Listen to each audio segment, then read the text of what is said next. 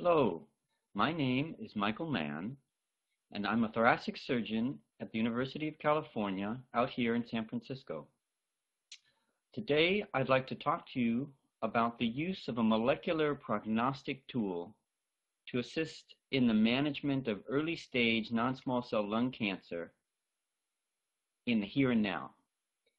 The question that I'm going to address is whether or not we're ready to be introducing mo molecular prognostic data into the routine management of early stage patients as a support for the decision making that is currently based entirely on TNM traditional staging. I would very much like to thank the organizers of uh, BioConference for affording us this opportunity to talk today about what we hope is going to increasingly become the first step towards true molecular personalization of a disease that has been in desperate need of improved management uh, for a very long time. Uh, in the spirit of full disclosure, I would like to mention uh, that I uh, am and have worked as a consultant for Life Technologies and more recently uh, Thermo Fisher Scientific, who own and who run uh, the molecular tool that's going to be a large focus of today's talk. I'd like to set the stage uh, for what we're going to try to accomplish uh, over the next uh, 45 or so minutes. Uh, it should not be hard for me to convince all of the listeners of this talk that there's a desperate need for better, more refined prognostic information in the management of early stage lung cancer. What might be a little bit more controversial is that I'd like to convince you as well that there's an, imme an immediate clinical utility for the use of this improved prognostic information that can allow better differentiation of high and low risk patients within stages one and two of this disease at the present time based entirely on the data uh, that we have at our hands right now and the clinical situation of our patients. Finally, uh, I hope, again, it's uh, a little easier to convince you that there actually is a tool that is extremely well validated and therefore ready uh, for implementation in this type of refined uh, molecular prognostic approach to lung cancer. Now, if we think about traditional staging, uh, which is really the fundamental basis of all of the decision making uh, for non-small cell lung cancer, uh, we're, we were very excited and, and enthusiastic uh, about the introduction of the seventh edition of the lung cancer, uh, non-small cell lung cancer staging system in 2009. It was based on a large amount of uh, clinical data and a large amount of uh, really great work poured in from around the world.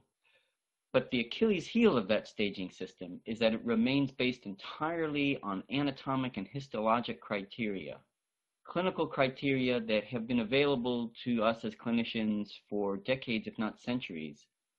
And unfortunately, there seems to be a ceiling to the degree to which we can take the accuracy uh, of and and really the refinement of prognosis that we're able to achieve based entirely on those traditional criteria. The most striking example is probably the failure of this new staging system to afford us an early stage categorization that really did much better than our older staging systems at identifying those patients who are most likely to be cured with surgery alone and, and those patients uh, who are going to recur with metastatic disease and who are therefore much more likely to benefit from further adjuvant systemic therapy. Now, the widespread uh, screening for uh, non-small cell lung cancer is still a, a, bit of a controversial topic. We're hoping uh, as uh, clinicians in this field that we're moving toward earlier and earlier diagnosis of this disease. Suffice it to say that even with greater use of, of chest CT scanning, we're going to continue to find uh, more and more early stage lung cancers. So being able to make better clinical decisions for those earliest stage patients is really going to become only more important in the future uh, as they begin to dominate more the clinical picture of lung cancer, which in the past was much more heavily weighted towards uh, diagnosis at later stages. So why do early stage patients die? If they've had a good operation, uh, why is it that we're not curing 100% of these patients, or at least 90% of these patients, which is much more of the standard, the bar that's reached by other uh, very common solid tumors such as breast cancer and colon cancer. So of course, lung cancer patients do tend to be an older population. They're still a higher concentration of smokers among that population. So of course, they have many other diseases that can contribute to their mortality. But by and large, the vast majority of patients after an operation for early stage lung cancer who die within five years die from a recurrence of their non-small cell lung cancer. And that means that there was metastatic disease that if they had a good operation must have been present at the time of resection of their primary tumor. But since they were early stage by the traditional staging system, we just didn't know that that metastatic disease was there. Now we've always already mentioned that the lung cancer community has been frustrated by a failure to really dramatically improve the outcomes even in early stage disease, and, and that's going back now 30 to 40 years. In fact, most of the more recent progress has been not in early stage disease, but in later stages where finally we're getting a taste of uh, personalization of care with regard to targeted agents. But those agents so far are really only documented to help in late stage disease. So what about our early stage patients that are still, despite surgery, facing 30 to 60% mortality? Well, if we just said that most of these patients are dying with metastatic disease, and that metastatic disease almost certainly was present at the time that they underwent their initial operation, can we really think of this perhaps as an understaging of their disease? In other words, are these really early stage patients if they're harboring metastatic disease at the time of their resection? And if they are understaged, if they're really later stage patients, perhaps already in stage four disease with micrometastasis, are we undertreating them by leaving them with surgery alone and hoping for the best on subsequent uh, radiologic uh, surveillance and, and other close follow-up. There's another reason why better prognostic refinement of high-risk patients in early stage uh, non-small cell lung cancer is such an imperative. And that's because there is clear evidence that we might be able to intervene and to do something meaningful to reduce the risk of these patients eventually succumbing to their disease. Now, this is a little bit of a switch for uh, non-small cell lung cancer in which we think of chemotherapy as an agent that can slightly prolong survival but not really achieve cure. And that's true for most, most late-stage patients. But the data from now multiple large-scale prospective studies is that we not only add a few months of survival to patients who undergo adjuvant chemotherapy for early stage disease, but we're actually curing a decent swath of those patients and giving them long-term survival that they otherwise would not have enjoyed without the chemotherapy. We know that from studies uh, that were conducted on, on a large scale with uh, platinum doublet uh, chemotherapies. And we know that the greatest benefit has tended to be seen in those patients with the greatest risk of recurrence. And that's really uh, very intuitive and uh, somewhat logical that those patients who are most likely to recur have tended in each of the studies that has had a positive result, those higher risk patients, i.e. patients at higher stages of disease, have tended to benefit more from adjuvant chemotherapy than the lower stage patients. So we do have something to do for patients who are at high risk for recurrence and that intervention can actually save lives. So how do we convert that into action at this at this date and time in the history of the management of non-small cell lung cancer? Well, for stage two disease, you might be thinking there is already a recommendation for adjuvant chemotherapy on the books. And that's true for most stage two patients, a subpopulation of patients in stage 2A and all patients in stage 2B. But as you look across the country and across the world, everyone who treats this disease knows that there's really suboptimal compliance with those recommendations. Not every stage 2 patient undergoes the adjuvant chemotherapy that's recommended. And if we think about why that's true, a large part of that probably comes from the statistics themselves. The studies that have been done until now that have demonstrated a benefit for stage 2 patients have looked at all comers, high risk and low risk. And when you look at all comers, the absolute degree of benefit for adjuvant chemotherapy is relatively small. Absolute benefits in the range of 5 to 10, maybe 12%. And when faced with the prospect of a very difficult platinum based chemotherapy right when a patient's recovering from a difficult thoracotomy, a lot of patients turn to their doctors and say, I don't think so.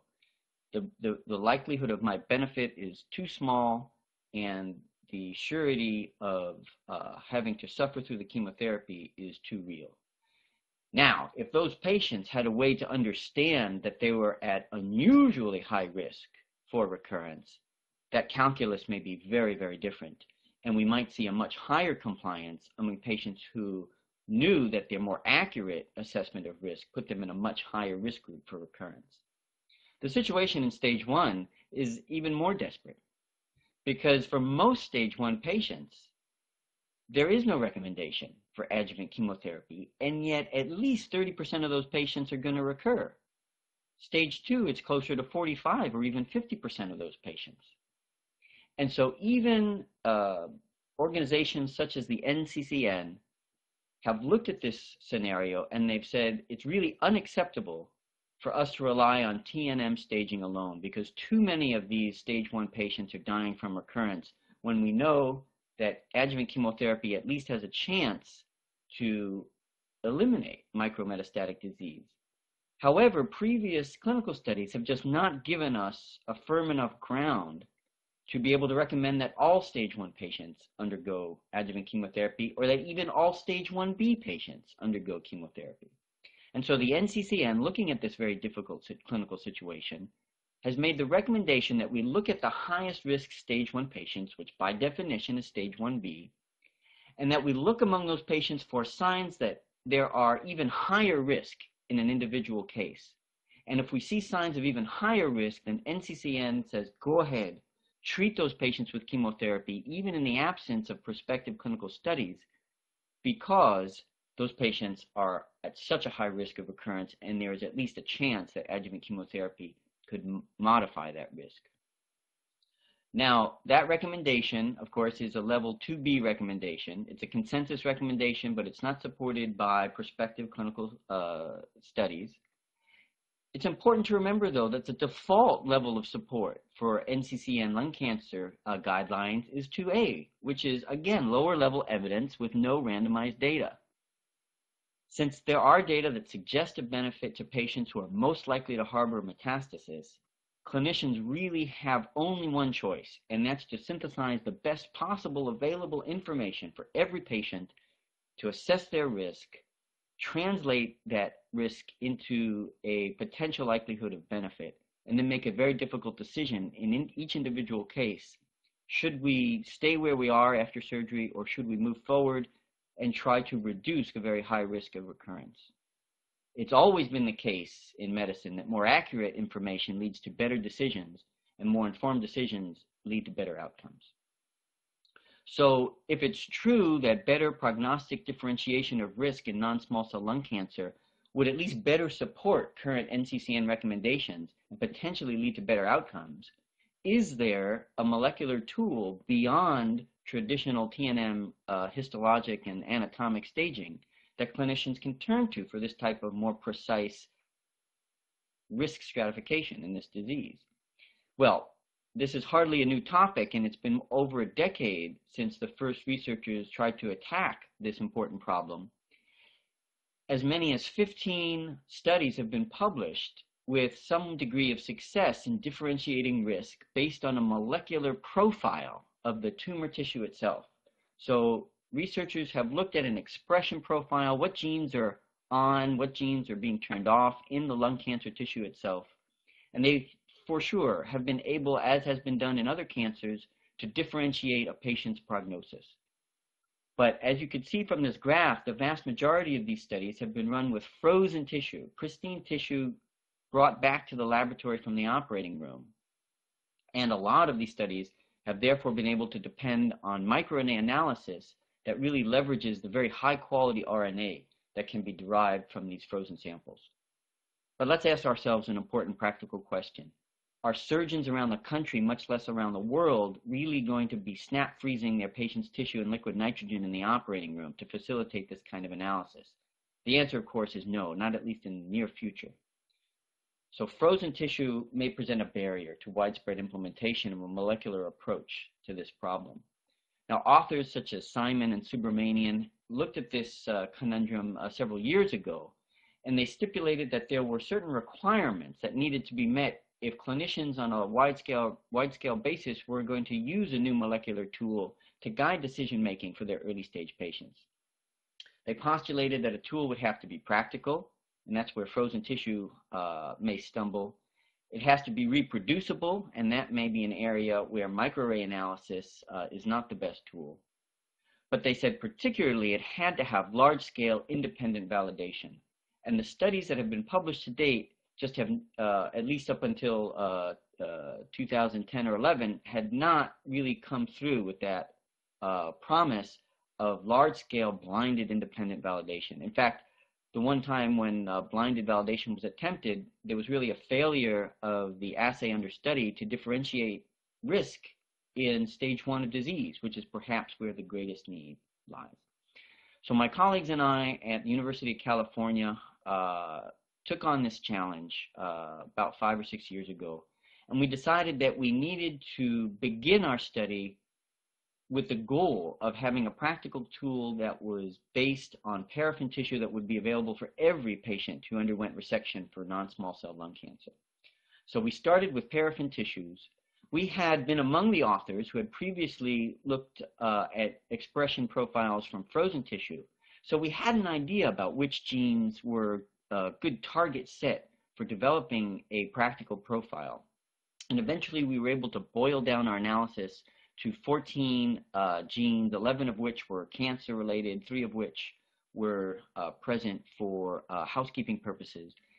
And we forced ourselves to develop a quantitative PCR approach that would work well and completely reproducibly with RNA of low quality that could be derived from paraffin embedded uh, formalin fixed tissue specimens. We went through a very rigorous statistical process trying to make our new assay as, as reflective, uh, as least uh, reflective as possible of the idiosyncrasies of our training cohort of over 350 patients from UCSF. But what we said was most important about this whole process was that whatever assay we finally came up with, it had to be independently validated in a blinded fashion on a large scale with a completely independent cohort of patients. And we turned to two sources uh, for that validation. Uh, in our backyard here in uh, Northern California, we enlisted the uh, collaboration of the Kaiser uh, Research Division, which is a phenomenal uh, group of clinical researchers who are known for their tenacity in independent validations and who were able to bring to bear a large cohort of patients from their network of community hospitals. So we felt it was a very good uh, ref reflective uh, population. But we felt that that was not enough. And so we turned in the other direction, so to speak, across the Pacific Ocean to our colleagues in China with whom we've been working uh, where lung cancer is uh, rapidly becoming an, an, an amazing epidemic. And we asked them to do another independent validation with an even larger sample of patients uh, this time in stages one through three to complement the stage one only analysis that was being done in Northern California.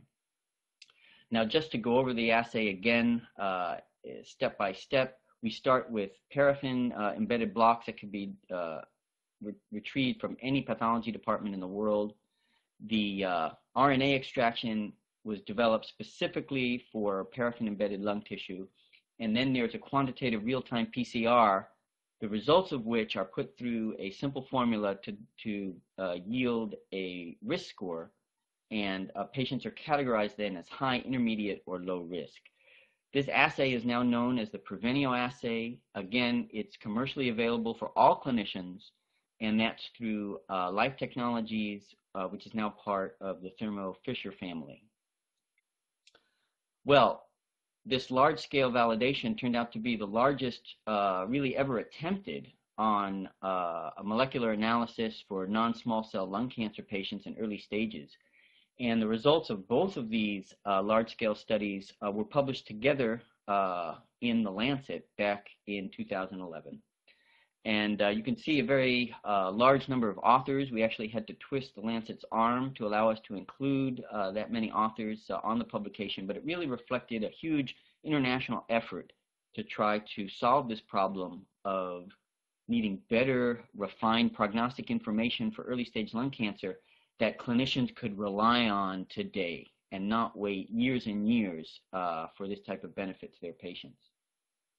Now, just to uh, give you a little bit of information about the uh, Clinical Trials Consortium that helped us in China, uh, they're leaders in uh, cancer care uh, from around the country in China, though for this study, we really relied entirely on colleagues in Beijing, uh, Shanghai, and Guangzhou, three of the major metropolitan centers uh, on the eastern seaboard of China, where cancer care has for many, many years been up to international standards, and where more recently uh, we finally uh, are able to bring their clinical research capability up to uh, global international standards as well.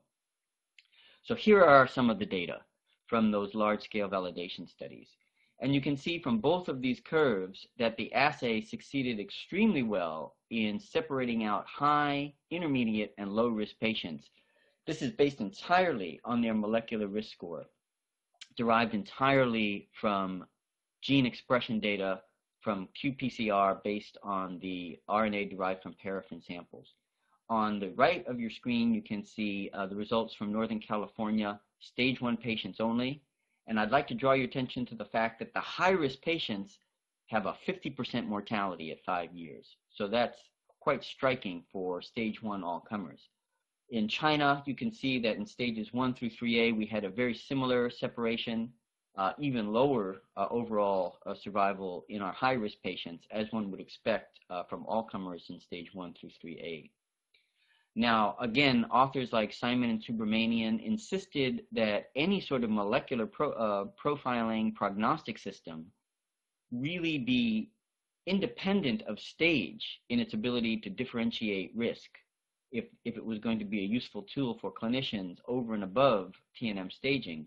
And so we asked the question within each stage in our China population, are we able to see a separation of intermediate, high, and low risk patients?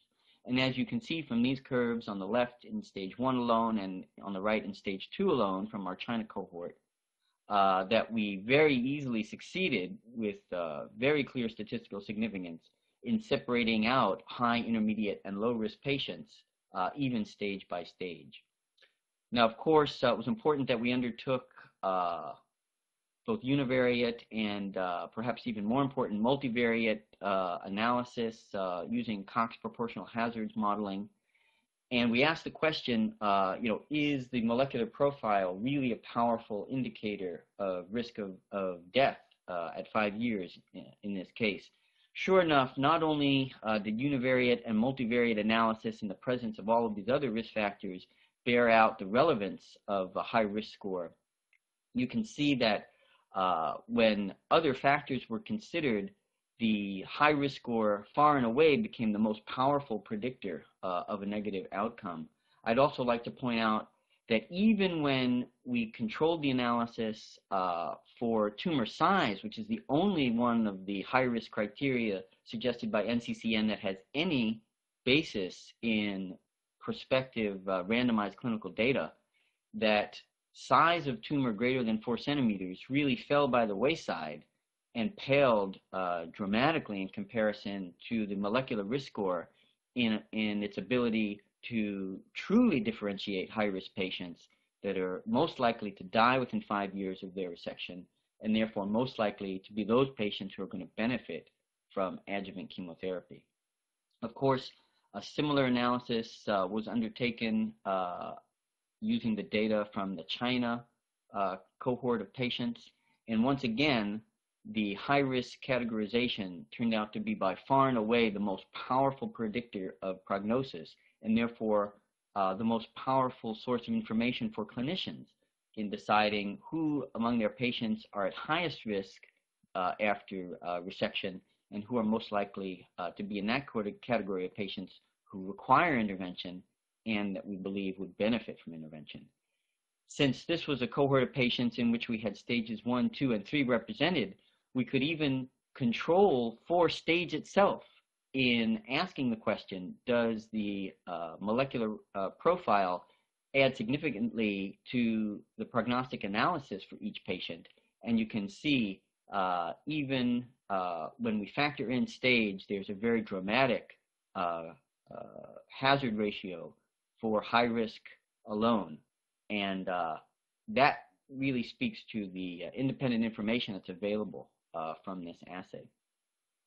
Now, one other thing I'd like to point out that when we think about this new staging system that, that we are uh, and should be very proud of uh, as of 2009, although many tens of thousands of patients were considered, in the end, only 16,000 patients made the cut and had enough clinical data available for the development of that staging system.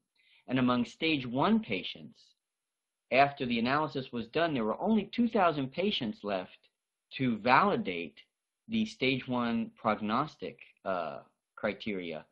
Well, that 2,000 patient validation really isn't that dissimilar from the 1,500 patient uh, validation that we ran, 1,000 of which uh, roughly were uh, stage one patients. So we're really talking about a validation now of this molecular prognostic that's really on somewhat of a similar scale to the uh, new TNM staging system itself. That speaks to clinicians' ability to rely on these data uh, for really accurate prognostic information for their patients. Now, we're often asked uh, how to statistically compare this molecular prognostic tool to traditional TNM staging. And that's where clinicians need to be a little savvy in recognizing that there's a difference between a diagnostic tool and a prognostic tool in terms of statistical comparison. For example, we can't really talk about specificity and sensitivity with a prognostic tool because those concepts don't apply in a stochastic assay that's really just assigning a risk but is not assigning a definitive diagnosis. And so at the uh, suggestion of authors such as Simon and Subramanian, we realized that we had to turn to other types of statistical tools to really more aggressively test the ability of this molecular assay to improve upon uh, prognosis compared to traditional criteria, including TNM staging, staging and even including the NCCN uh, supplementation of TNM staging. And this uh, graph represents an AUROC analysis or area under the receiver operating curve analysis, which really is a tool much more designed to compare prognostic tests and without getting into too much detail about the mechanics of this type of uh, statistical approach, suffice it to say that when we use this tool to compare the molecular assay to NCCN criteria alone, there was a dramatic improvement in the accuracy of prognosis, uh, represented here graphically in the uh, dark blue shaded area, in which we were really able to achieve a much better discrimination using the molecular profile to assign prognosis, to assign a risk category to the patients compared to traditional criteria, including the high risk criteria that NCCN has recommended uh, for determining candidacy for chemotherapy. Now, uh, in early stage disease, there's a subcategory of patients who we believe have the absolute best prognosis. And those are patients with uh, so-called T1A tumors tumors less than 2 centimeters in greatest diameter, who of course are also node negative and therefore stage 1. We congratulate those patients when we see them postoperatively in our surgical clinics because we believe that those patients have the best prognosis and we would never have considered further adjuvant in intervention for those patients based on uh, traditional prognostic uh, systems alone. So we asked the very difficult question of our uh, new molecular assay can you take even those earliest of stage, staged patients and still identify patients who are at very high risk for recurrence and who might actually benefit tremendously from additional adjuvant chemotherapy to lower their risk of death? And sure enough, we found that this molecular assay, even among stage uh, 1A, T1A patients with only 2 centimeter or smaller tumors, we were able to identify a cohort of high risk patients that again approached a 50% mortality at five years. Now that's just unacceptable uh, mortality to allow patients to go on uh, when we know that chemotherapy tends to reduce the chance of death, death for high risk, highest risk patients. And it wasn't just a small sliver of those very, very early stage patients that fell into that high risk category. As you can see from the numbers at the bottom of this graph, it was fully a third of those patients that for whom we were able to identify a very, very high risk of recurrence. So this is really uh, a very important uh, progress that can be applied to the management of this increasingly large uh, percentage of early stage non-small cell lung cancer patients who are increasingly going to come to our attention as screening and uh, the more widespread use of CT scanning in general brings more early uh, stage patients uh, to diagnosis and for whom this uh, challenge of identifying those patients who despite having an early uh, traditional clinical pathologic stage are very likely already to harbor uh, undetectable micrometastasis. Now, Again, uh, in fullness to full disclosure, uh, since those uh, data were published, a second molecular prognostic assay has uh, been described in the literature. And you can see uh, last year uh, in clinical cancer research, there's, there was a report of the validation of a similar type of RNA-based molecular profiling assay However, that assay was really based uh, on a test that was developed uh, using prostate cancer uh, and not specifically for lung cancer patients. And that uh, validation uh, tended to suffer from a number of uh, clinical scientific challenges and problems related to implementation of the use of that assay. Specifically, uh, they uh, never succeeded in predefining a cutoff for a score between high and low risk, uh, therefore leaving uh, clinicians uh, really uh, with a, a, mystery as to how to interpret the results of the assay for their patients. And a clinical offering that has been based on this assay really depended very heavily on classical TNM staging to provide a risk categorization. So it, it hasn't been very clear from the data that have been available whether there is uh, really a boost uh, to prognostic uh, accuracy provided by this second uh, molecular assay. It does, however, speak to both the need and the feasibility of developing a uh, gene expression-based approach to differentiation of risk in uh, early stage lung cancer and it may also speak to the need for uh, cancer uh, type specific development uh, of the assay. As far as I'm aware, uh, this assay is not yet available for widespread use, uh, as is, again, the Pervenio assay, which is now available from Life Technologies CLIA laboratory. Now, we had a chance at last year's bioconference to talk about this assay uh, since then, there have been a couple of new studies, uh, either published or uh, in press, that have addressed more specifically the question of clinical utility for this uh, new approach to integrating molecular uh, prognostic information into the management of, uh, of early stage lung cancer. One study by Dormady and colleagues specifically asked the question, um, is it are clinicians who are obtaining this assay for their early stage patients actually using that information to modify their uh, clinical decisions regarding those patients. And uh, the results of that study uh, portrayed in this uh, chart indicate that a full 30% uh, or slightly above 30% of all of the patients entered into this study actually had management decisions that were changed as a result of obtaining the assay. About 120 uh, uh, unique patients uh, were considered in this study. Uh, roughly 50 clinicians participated, bringing those 120 patients uh, into the study.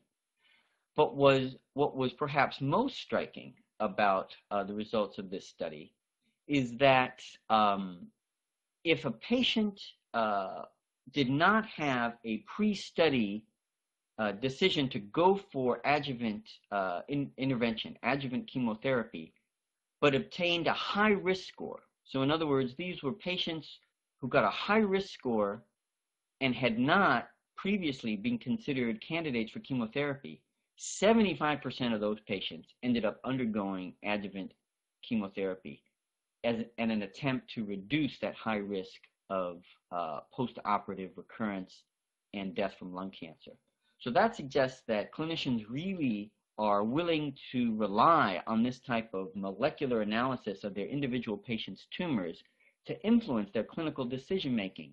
And again, this is in the absence of specific prognostic clinical data that guarantees that there is a documentable benefit uh, to that approach, but it's integrating all of the data that we have available, the data that suggests that adjuvant chemotherapy does help patients at higher risk of recurrence, i.e. highest stage patients, and that those patients not only benefit with uh, slightly prolonged survival, but with long-term uh, freedom from recurrence and from death.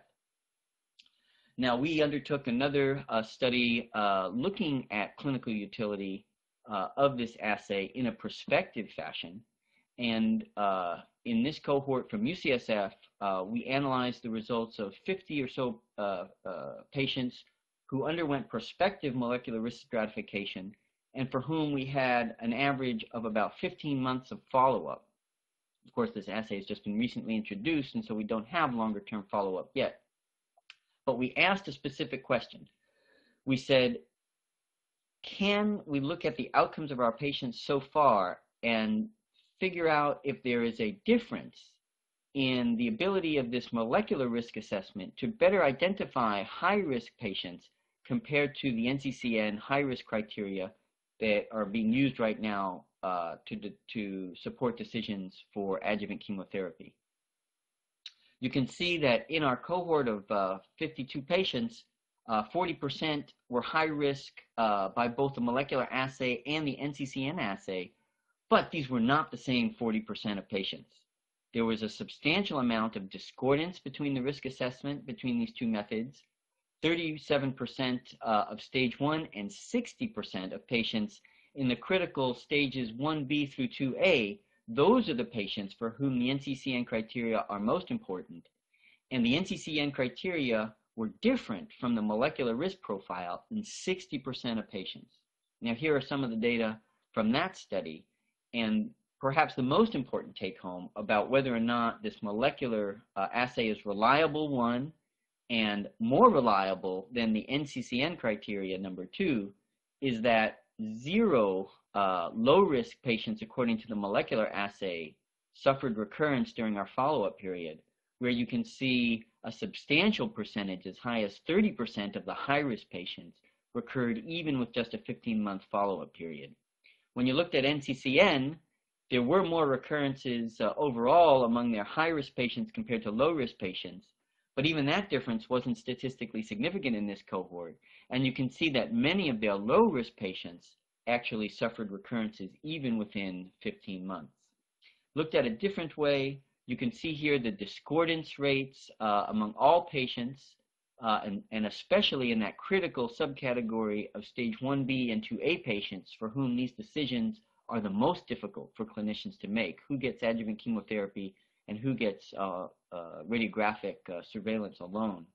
And you can see there were both kinds of discordances. There was NCCN high risk, molecular low risk, and there was molecular high risk and NCCN low risk. And you can see there was a lot of discordance, but in the end, the patients who were molecular low risk did not have any recurrences, even if they received a high risk categorization from NCCN criteria. And you can see the low risk NCCN uh, patients who got a high molecular risk actually had as high as a 22 to 25% recurrence rate, despite the fact that they were low risk by NCCN criteria, which would mean that they would not have received any intervention to try to lower that risk of recurrence and eventual death, since we know that almost all patients who recur with uh, lung cancer after resection eventually succumb to that disease. And I'd like to uh, draw your attention to the bottom of this slide, uh, because what we also saw in this cohort was that um, there was generally, even at UCSF, relatively poor compliance with recommendations for adjuvant chemotherapy even in stages 1B and 2A and stage 2B, where uh, again, patients are, are facing a difficult decision about a difficult chemotherapy in a postoperative period when they're trying to recover from an often uh, painful thoracotomy. And uh, 70% of the failure to comply with that recommendation uh, was due to patient refusal in our cohort. Patients who might benefit substantially from more refined prognostic information telling them that not only are they stage 2 or even stage 1B, but they're at particularly high risk for recurrence and subsequent death. I'd also like to point out that 83% of the recurrences in this cohort, again, only 15 months of follow-up, but 83% of those uh, early recurrences occurred in patients who did not undergo adjuvant chemotherapy. 22% recurrence rate, again, in the patients who were discordant with a high molecular risk profile but a low profile according to NCCN criteria. So finally, I'd like to sum up uh, by going over what we've had a chance to discuss uh, over the past uh, 40, uh, 45 minutes. I think it's clear that although our best tool uh, to date, conventional staging, still does a relatively poor job of stratifying risk in early stage non-small cell lung cancer patients, particularly compared to other common solid tumors where a stage one uh, categorization usually means you have a 90%, in some cases a 98% chance of uh, cure of long-term survival after resection alone. In uh, non-small cell lung cancer, as many as 30 to 60% or more of patients who are undergoing complete attempt at curative resection must actually harbor undetectable metastatic disease and, and many of whom forego any attempt at early systemic intervention that might actually cure their disease at a micrometastatic stage. I believe we've uh, documented that, uh, that there is reasonable evidence in uh, studies such as IALT, uh, JBR10, and even the ANITA study that suggests that micrometastatic non-small cell lung cancer will benefit from adjuvant chemotherapy and that the greatest benefit is observed among patients who are at the highest level of risk of recurrence and death after surgery. Since NCCN has already stepped over the line and has already determined that it should be recommended to patients at very high risk to undergo adjuvant chemotherapy to reduce that risk, even in the absence of prospective data for that category of patients. The challenge to clinicians is to make that determination with the most reliable and most accurate prognostic information possible. Patients are going to face these difficult decisions, and better data is almost certainly going to lead to better decisions and therefore better outcomes. Molecular prognosis, based on assays such as the one that I've reviewed with you today, the Pervenio assay, uh, has been scientifically validated as a means of better identifying high-risk patients and therefore perhaps better implementing current NCCN recommendations. Again, the validation that we've discussed today was on a scale uh, roughly similar to the validation of the TNM uh, system for stage one itself. Now, this, this may uh, support the introduction of a slightly altered paradigm for the treatment of these early uh, stage uh, lung cancer patients, even patients as early as stage 1A, where the perception of low risk has in the past led just to monitoring alone, and when recurrence has, has uh, been documented, then introducing chemotherapy that, to be, in my perspective as a surgeon, is really palliative in nature in the sense that it may prolong survival but is very, very unlikely to achieve cure. Instead, now we're looking at a group of patients who have the initial perception of low risk, but who then undergo molecular prognostic analysis. Now we have a much more uh, reliable uh, differentiation of high and low risk. Those low risk patients, of course, will continue to go on uh, for monitoring and surveillance, but those high risk patients now have the opportunity and have better confidence in that designation to undergo the opportunity for intervention in, in the form of adjuvant chemotherapy that might actually achieve risk reduction as they then follow on to monitoring and hopefully a much lower risk of recurrence. uh, and any need uh, for uh, reintervention in the future. Now, again, uh, this is all based on data that have been available to the lung cancer community for years. The question remains, can we pro prospectively uh, document that this strategy really has teeth and is going to result in better outcomes for our early stage lung cancer patients? The answer is, of course, yes. We can and have actually designed that prospective randomized clinical study, and it has been initiated. So we are now in the very early stages of actually uh, randomizing patients who are, uh, by TNM staging criteria, stage one, but who receive a high-risk designation pr from the Pervenio assay. We're randomizing those high-risk stage one patients to adjuvant uh, chemotherapy versus their traditional standard of care uh, of monitoring uh, with radiographic surveillance. And by this prospective uh, randomization, we hope to document in uh, several years' time that the high risk uh, identification through the molecular profiling actually allows for better management decisions in the sense that these patients receive an intervention and therefore have better outcomes uh, compared to patients treated by the conventional paradigm of monitoring alone. Again, that study has been designed, it's been initiated, and we're hoping to see results from that study in about uh, uh, four or five years' time. Now, of course, uh, many, many very, very talented uh, clinicians and uh, clinician scientists uh, have been involved in the development of this new clinical tool. it would be highly remiss for me not to acknowledge their contributions my friend and close colleague David Jablons in our Division of Thoracic Surgery at University of California, San Francisco, and the founder and leader of our thoracic oncology program in our uh, Comprehensive Cancer Center at UCCF, UCSF, uh, really helped me to lead this development and validation program. Uh, and of course uh, continues uh, to work uh, vigilantly on a daily basis to try to use this and other technologies to improve the outcomes of early stage lung cancer patients. Uh, Dr. Johannes Kratz, uh, who together with Gavitt Woodard are completing their respective trainings at UCSF, contributed substantially uh, Johannes really being a uh, linchpin in the development uh, and validation studies, uh, Dr. Woodard more recently uh, contributing uh, to our prospective studies uh, ongoing with UCSF uh, lung cancer patients. I've mentioned the Kaiser Northern California Division of Research. I'd particularly like to mention Stephen Van Den Eeden, who helps to lead that program and who was particularly instrumental in the planning and the execution of our large-scale validation studies.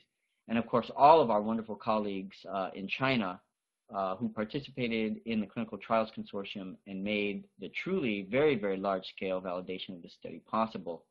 Uh, I might also point out uh, at this uh, point that by comparing a, a, predominantly Caucasian Northern Californian population to an entirely Chinese population, we really uh, were able to achieve a large degree of confidence that our assay was not in any way uh, idiosyncratic to a single population, but really spoke to the biology of non-small cell lung cancer as it manifests across the globe. Uh, it was not, the success of the assay was not at all dependent on the unique genetic background of the population under study, but even with patients with very diverse genetic backgrounds, such as a Northern California population versus an entirely Chinese population, the assay was almost identically effective in differentiating high and low risk patients. So uh, the China contribution to all clinicians' ability to rely on this assay was really uh, very tremendous and very much appreciated.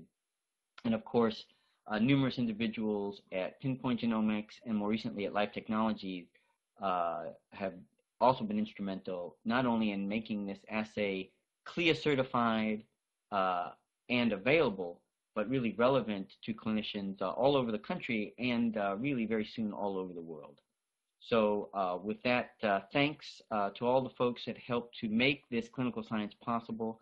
I'd uh, particularly like to thank everybody who joined today and also all of those people who will enjoy this talk once it's posted on the web. You are really the leaders for implementation of uh, new strategies and um, more scientifically driven uh, paradigms for getting better outcomes for our non-small cell lung cancer patients. Non-small cell lung cancer is reaching epidemic proportions. And even though we congratulate ourselves in the United States for reducing smoking rates and finally seeing gradual reduction in lung cancer incidences, uh, globally it's a very different story. Uh, China is a particular tragedy, but even in other parts of the world, tobacco use is not on the wane. And as a result, uh, we're going to see an even greater epidemic and wave of uh, non-small cell lung cancer in coming years we need uh, much more refined tools to help combat that uh, immense uh, public health crisis and uh, to get better outcomes for all patients, of course, late stage and, uh, and early stage alike. Again, I'd like to thank everybody uh, for making this talk possible today and for participating. And with that, I'll wish you a very good day.